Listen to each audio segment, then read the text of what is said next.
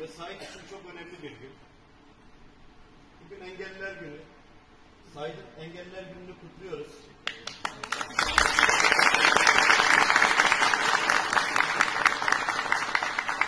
Bu kadar güzel bir günde aramıza katılışını gerçekten çok çok sevindik biz.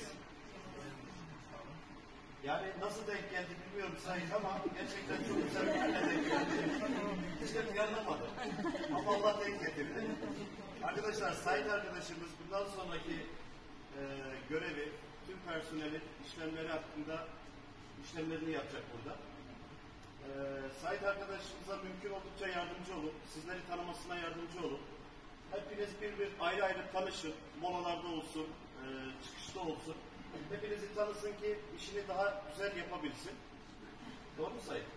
Senin söylemek istediğin bir şey var mı? Birbirimize yaklaşarak çalışırsak çok olurum. Benim de işlerimin de kolaylaşır yani. Sağ. Biz sana her zaman yardımcı oluruz. Bu şekilde devam Sen işini yapmasan da biz seni burada Yaparız, tutarız. yaparız, yaparız. Sen rahat ol.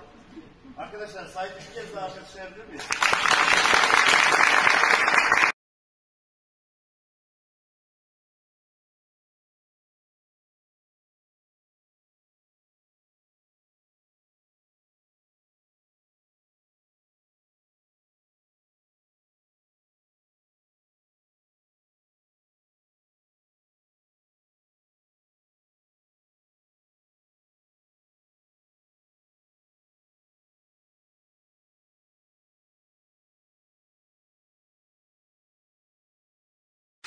Manisa Son Haber. İlkeli, hızlı, cesur, tarafsız ve halkın yanında haber sitesi. manisasonhaber.com